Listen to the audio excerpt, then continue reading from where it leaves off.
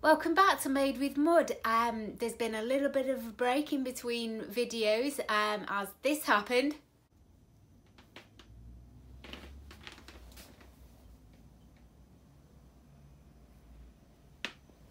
Everything's fine. Fortunately, my whole studio didn't go and it was just the motor had gone on my uh, wheel. That's now been replaced.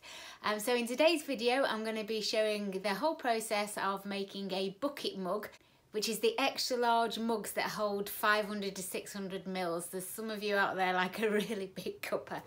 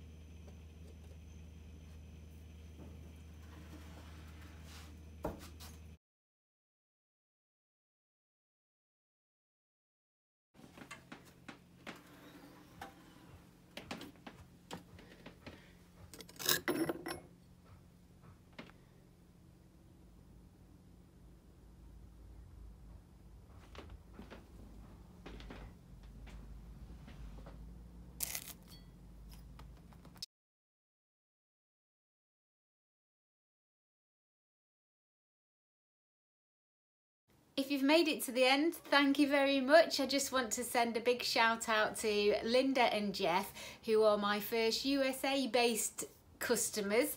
They very kindly supported Made with Mud by purchasing one of my pieces through Folksy and now one of my mugs resides in Florida. Please subscribe and hit the bell for notifications and like the video, it all helps and I will see you next time.